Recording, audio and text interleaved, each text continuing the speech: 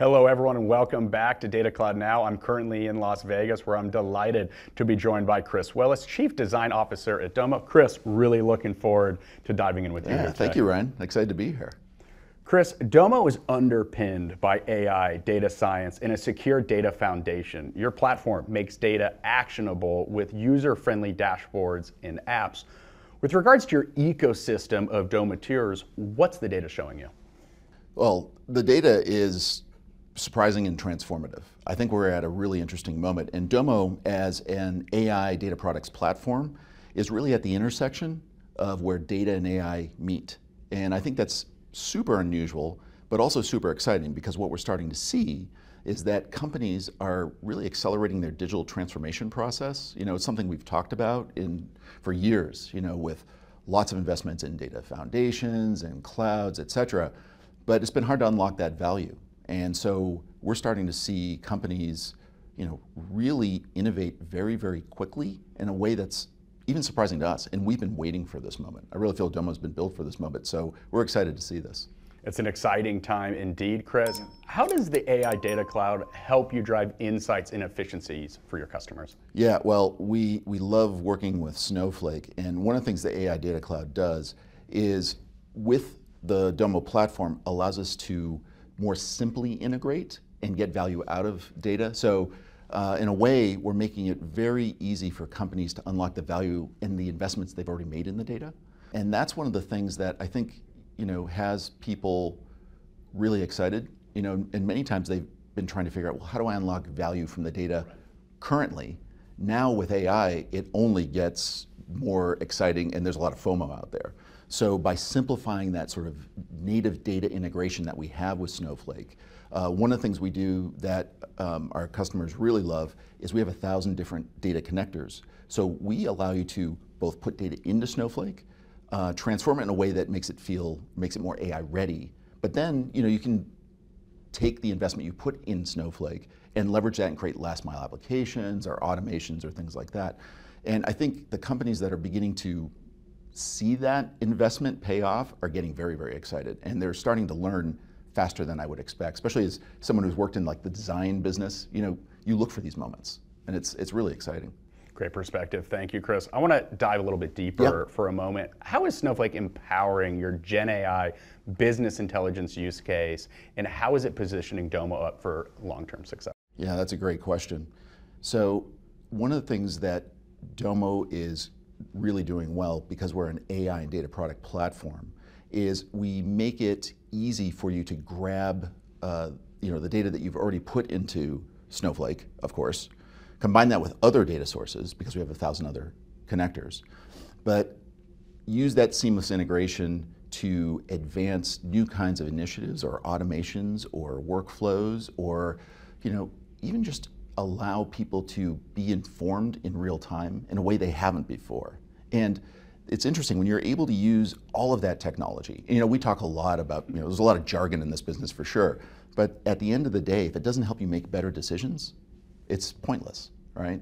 And that's what we're starting to see is both much better decision making because now you're able to leverage the data you already have in Snowflake with the latest sort of models. We have something called an AI services layer, which allows you to also, you know, either use Snowflake Cortex, which is wonderful, but you can also combine that with other specialized models and do it in a secure way. Um, you know, being in Vegas, you know, this, the old saying, like what happens in Vegas stays in Vegas.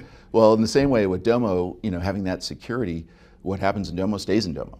And that's really, really critical, especially if you're trying to innovate very quickly with, you know, very exciting technology, but also technology has some risks. Great to hear. Thank you, Chris. As we talked about at the beginning of, of this program, this has been the year of AI implementation across the enterprise. What areas are you seeing this technology have the most impact, and what have your biggest takeaways been as you look back on the trailing 12 months? Sure. The first thing I'm seeing is the companies that have invested in a strong data foundation are doing more faster with AI. The saying we throw around a lot is, you know, bad data means bad AI. So that's one. But two, I think companies that are really accelerating are understanding that this is a different kind of moment. This isn't just a new kind of technology. It's what we might call an enabling technology. So some technologies are disruptive, right? They rock the boat a little bit, but then things settle down and everyone sort of moves on to the next thing. enabling technologies like generative AI, like the internet, um, IoT, 3D printing, uh, CRISPR, these kinds of technologies are enabling because they are engines for new kinds of disruptive technologies. So when the internet came around, it was like, oh, I could read the news, or I could book a flight, or I could create a blockchain, a new currency. Like, whoa, that is that is enabling technology. That's right. transformative. And so what we're starting to see is that over the last 12 months, companies have gone from being, you know, curious to um, experimenting, and the ones that are able to experiment and learn advance very quickly. Uh, becoming a learning organization is a whole other conversation we might want to have at some point. That would be great. But uh, what we're starting to see is those who, again, have made that investment in that data foundation. And so, you know, using the Domo AI data products platform, along with their investments in Snowflake, they're future proofing. And they're starting to see the benefits of that future proofing because now AI is allowing them to leverage that information in ways that they might have never predicted. And that, that's pretty interesting. And I, no, I, I want to go on because that's no, super that was, exciting stuff. That was great, great per perspective on that, Chris. And I want to stick with your personal perspective. What advice would you like to leave the audience with on how best to implement AI to future-proof their organizations for the long-term future ahead? Yeah, that's a great question. It's a question we get a lot. Uh, again, it's a lot for people to wrap their brain around. What we say is start, you know, if you're going to start using AI to, say, automate tasks, and that's one of the things um, that we're starting to see with some Domo customers is they're not waiting for the future to come to them. They're building the future. And one of the things we're starting to see is using these new agentic type models to power very robust automations. And I think what you're going to see is a lot of automating of the menial at the start, you know, that small defined business use cases that build efficiencies and so that people can begin focusing on the more meaningful problems to be solved. So we're definitely seeing that. What we're also seeing is that generative AI is really the big unlock for many enterprises. And the Domo platform was really built for this moment because with the Domo AI products platform, you can take all of that investment you've made and use AI to really reduce the complexity.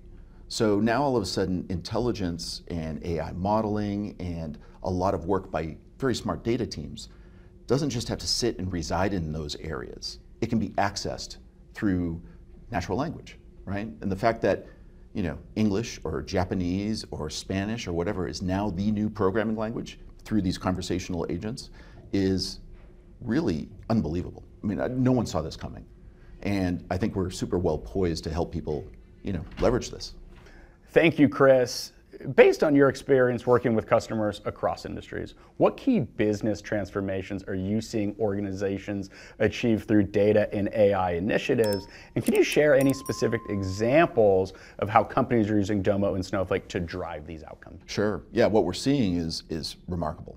Um, it's early, but one of the things, at least from my perspective as a, as a chief design officer and a product designer, is I'm always looking for customers from the future right? And the idea that you know maybe the future is not so much invented as it is discovered. I like that. So so once you know what to look for, all of a sudden, you know, you start seeing these these companies and these enterprises do really innovative things.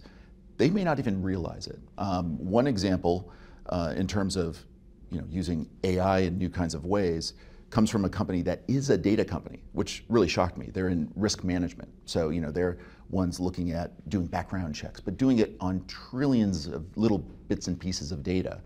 And trying to manage that business in real time is very, very difficult. So one of the things they were able to do was use the Domo platform to combine both their data within Domo, data from Snowflake, along with multiple generative agents, you know, AI agents. Right. And we talk we talk about these as agentic. I know it sounds kind of kind of jargony, but that's what they are. But you can think of them as just smart little experts.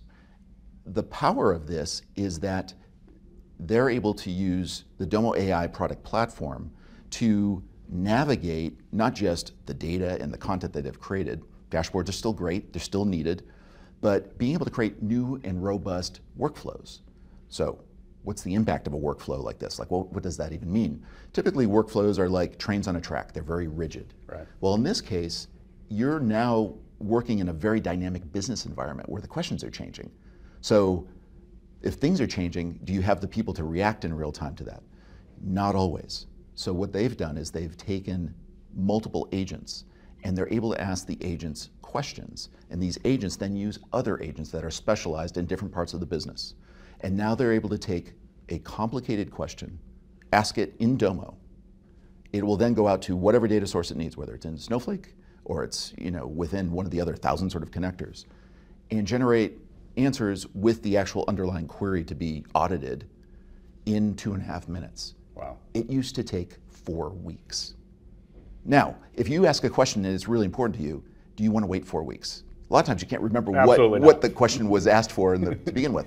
So when we talk about transformation and we talk about you know a lot of the hype around AI, it really comes down to very practical alignment and answers to business questions that change outcomes in real time. That's the magic. That's the unlock, I think, of a lot of AI. And that's why we think Domo is really built for this moment. Well, Chris, thank you so much for oh, joining oh, me. Thanks. Ryan. It's been a pleasure. Thanks. I really appreciate it. And for the audience watching, I'm Ryan Green with Data Cloud Now. Thank you so much for joining us. We'll see you soon.